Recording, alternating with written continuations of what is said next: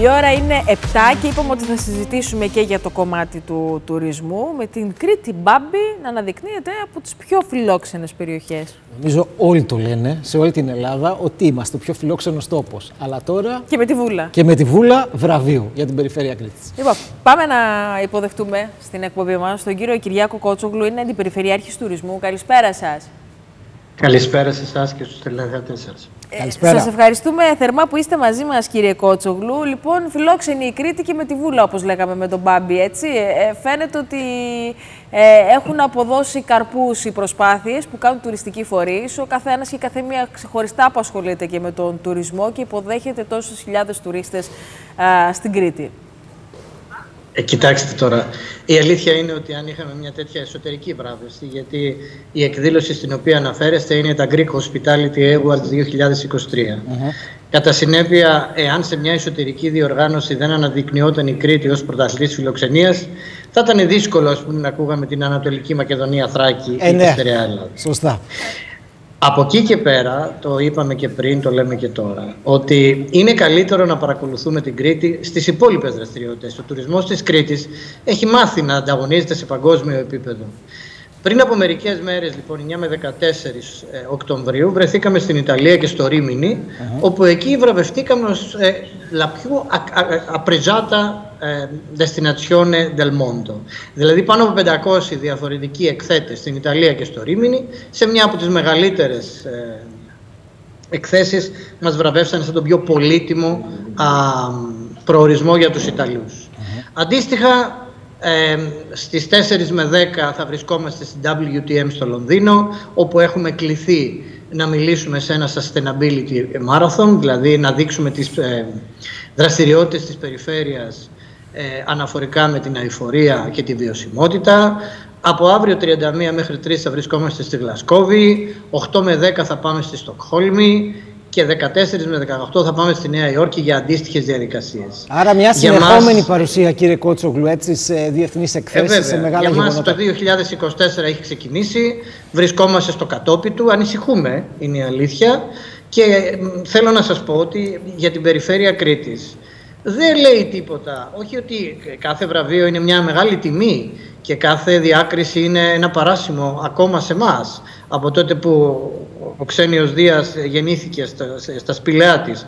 Αλλά από εκεί και πέρα η περιφέρεια Κρήτης πια έχει καθιερωθεί σαν ένας από τους πιο διάσημους προορισμούς στον κόσμο και σημασία έχει να διατηρηθούμε εκεί.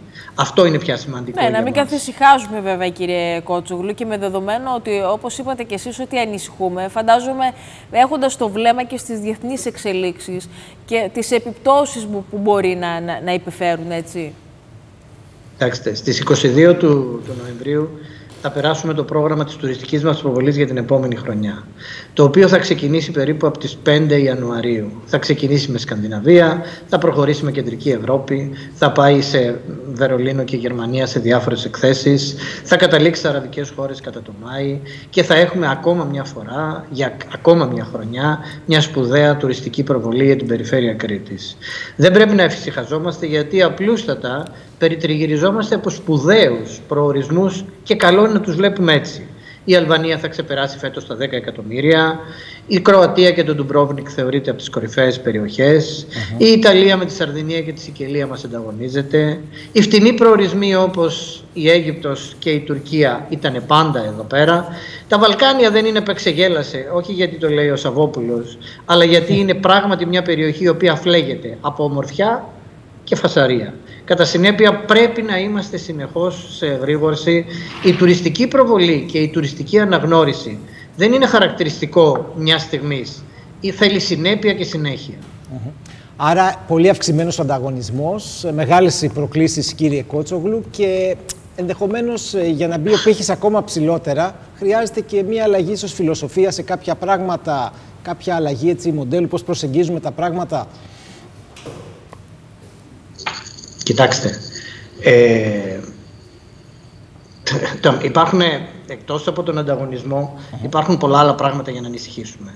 Η Ευρώπη βρίσκεται πια σε παρακμή, ας το πούμε έτσι χοντρά. Δηλαδή, το θέμα του πληθωρισμού αφορά και τη Γερμανία και τη Γαλλία και την Αγγλία. Παρ' όλα αυτά, αυτοί οι άνθρωποι μας προτιμούν. Αυτό που πρέπει να δούμε πάρα πολύ σοβαρά είναι ότι θα πρέπει να μην ανήκει ο προορισμός μας σε εκείνους τους προορισμούς που λέει κανείς θυμάσαι μωρέ τι ωραία που ήταν πριν από 10 χρόνια εκείνη η περιοχή Και δυστυχώς έχουμε τέτοια παραδείγματα. Αυτό που πρέπει να γίνεται είναι να δούμε τι σημαίνει αηφορία. Αηφορία σημαίνει ουσιαστικά, προέρχεται από τη φυτολογία και σημαίνει την ικανότητα του φυτού, του δέντρου, να μπορεί να παράγει την επόμενη χρονιά τους ίδιους ή παραπάνω καρπούς ως συνέπεια της καλής συμπεριφοράς μας πάνω σε αυτό. Μεταφερόμενο αυτή η λέξη που έγινε πολύ της μόδας στον τουρισμό σημαίνει την ικανότητα ενός προορισμού να μπορεί να παρέχει τις ίδιες εμπειρίες, την ομορφιά και γενικά την αποδοχή μέσα από τα χρόνια χωρίς αυτή να απαξιώνεται. Ξέρει πολύ καλά τι σας λέω η Μαγιόρκα και οι βαλεαριδες που κάποτε θεωρούνταν παράδεισος αλλά τώρα αναζητούν την παλιά λογική μορφή τους. Κατά συνέπεια η Ελλάδα και η Κρήτη πολύ περισσότερο πρέπει να διατηρήσει αυτό που η καμπάνια της Περιφέρειας Κρήτης λέει αυθεντικότητα και αηφορία. Αν τη χάσουμε αυτή ουσιαστικά θα χάσουμε την ταυτότητά μας. Δεν θέλουμε να είμαστε μια ομάδα μεγάλων καλών ξενοδοχείων.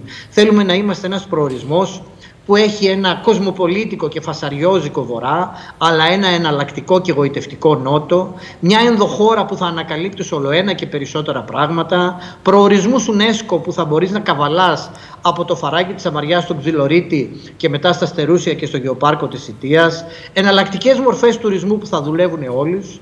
Η στρατηγική μας είναι να απλώσουμε τον τουρισμό μας στο χώρο της Κρήτης στο χρόνο ολόκληρο και στις διαφορετικές θεματικές. Νέες Δεν θεματικές μορφές τουρισμού, κύριε Κότσογλου, μπορούν να απτυχθούν στο νησί; Νέες θεματικές μορφές τουρισμού, κάτι που δεν έχουμε δει μέχρι τώρα; Δεν έχετε δει, δεν έχετε ακούσει για τα μονοπάτια σε όλη την Κρήτη. Αλλά ο περιηγητικός είναι δίπλα μας. Αρκεί να τον δείξουμε λίγο παραπάνω.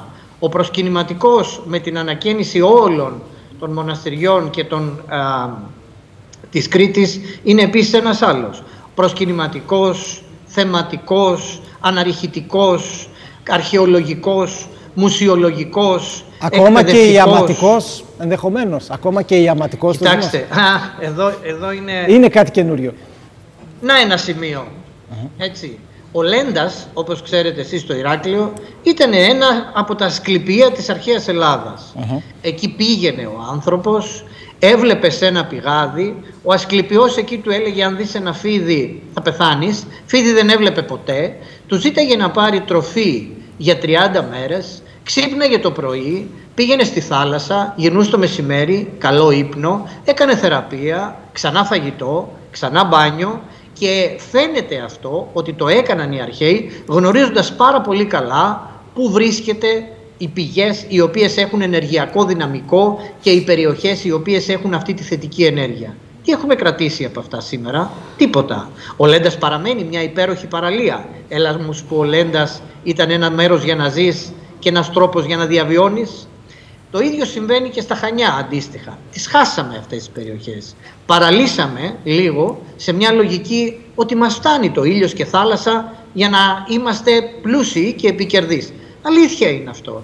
Το νησί μας είναι μια μαγική πραγματικότητα σε σχέση με την υπόλοιπο κόσμο. Αλλά από εκεί και πέρα, το ξαναλέω, αν χάσουμε αυτά τα οποία είχαμε, μιλήσαμε για φιλοξενία. Mm-hmm. Παλιοί περιηγητές έλεγαν, οι Κρήτες είναι διατεθειμένοι να προσφέρουν αυτό που έχουν στο σπίτι τους και να στερηθεί όλη τους η οικογένεια για να προσφέρουν στον ξένο τα καλύτερα. Αυτό το συμπόσιο, το κριτικό αποτελεί μια συνθήκη και μια παράδοση τελείως έξω από, τα δυτικά πρότυπα.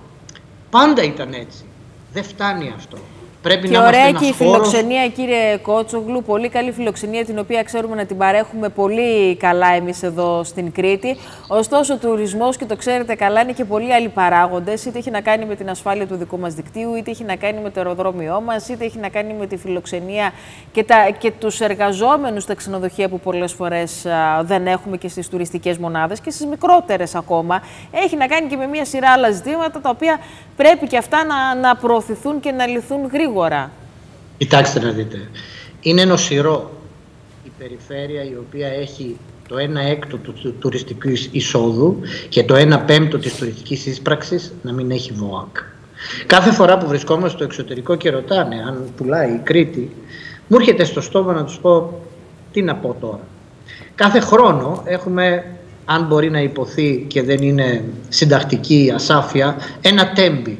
Απλά έχουμε, χάνουμε τους ανθρώπους μας mm μέσα στο πέρασμα της χρονιάς και δεν είναι τόσο οξύ.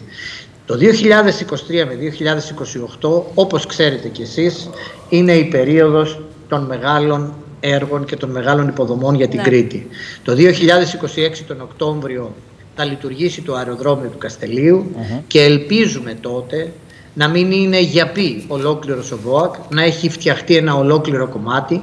Αναγνωρίζουμε όλοι ότι είναι ένα σύνθετο έργο με Καλά, πολύ δύσκολο, μεγάλο αριθμό Δύσκολο να έχει γίνει μέχρι τότε, κύριε Κότσογλου. Πρακτικά τώρα μιλώντας από. Τουλάχιστον, ακούστε, πρέπει να έχει μπει μια κατάσταση ώστε το υφιστάμενο δίκτυο να είναι επαρκές και φτιαγμένο και να παραδίδονται σιγά σιγά κομμάτια χωρίς να κάνουμε καψόνι στους επισκέπτες. Ε. Γιατί φέτος το Μάιο με 12% αύξηση στο αεροδρόμια μας το να είναι κλειστή η Αγία Πελαγία και τα μεγάλα χωράφια και ο Αδελιανός κάμπος αλλά με δύο ήταν καψόνι, δεν είναι κάτι άλλο. Σωστά. Εάν ένας προορισμός αποφασίσει ότι εγώ θα τα κανονίσω έτσι το Υπουργείο, έτσι ώστε το Μάη να είναι κλειστή η Αγία Πελαγία, να μην μπορεί να κλείσει ραντεβού και τα μεγάλα χωράφια, δεν μπορώ να το χαρακτηρίσω αλλιώς.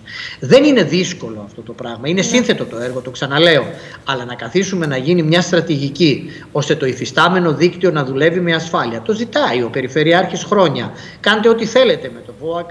Κάντε όπως πρέπει με το ΒΟΑΚ. Αφήστε μας στο, στο, στον υφιστάμενο άξονα την ασφάλεια να μπορούμε να έχουμε καλή άσφαλτο, καλά δάπεδα, καλά στιθέα, καλά μάτια γάτας, καλή διαγράμμιση ό,τι πρέπει να υπάρχει για να είναι ασφαλείς οι άνθρωποι μας. Και σιγά σιγά να παραδίδονται αυτά τα θαυμάσια κομμάτια των ανισόπεδων κόμβων και των νέων σειραγών έτσι ώστε να μην κάνουμε περιπέτεια τη διαμονή των ανθρώπων. Ο τουρισμός μπορεί και φροντίζει ώστε κάθε παραμονή, κάθε επισκέπτη να είναι μια χρυσή σελίδα στις διακοπές του. Ας φροντίσουν και οι υποδομές το ίδιο. Έτσι πρέπει. Για το κομμάτι των εργαζομένων που είπατε, είναι μεγάλη κουβέντα, μπορώ να σας την κάνω όποτε θέλετε, είναι καταρχήν ένα πρόβλημα δημογραφικό. 6 εκατομμύρια επισκέπτες πρέπει να μπορούν να εξυπηρετηθούν από 600.000 ανθρώπους εκ των οποίων δουλεύουν στον τουρισμό ένα μικρό κομμάτι. Υπάρχει και εκεί μια άλλη νοσηρότητα. Συνεχίζουμε και βγάζουμε τους ίδιους απόφυτους που βγάζαμε το 2000, το 2023 και 2024, τη στιγμή που ο τουρισμός μας έχει δεκαπλασιαστεί. Ναι. Υπάρχει, συνεχίζει και υπάρχει το θέμα της εποχικότητας που κάνει άλλους κλάδους της οικονομίας ακόμα πιο ευέλικτους. Ναι.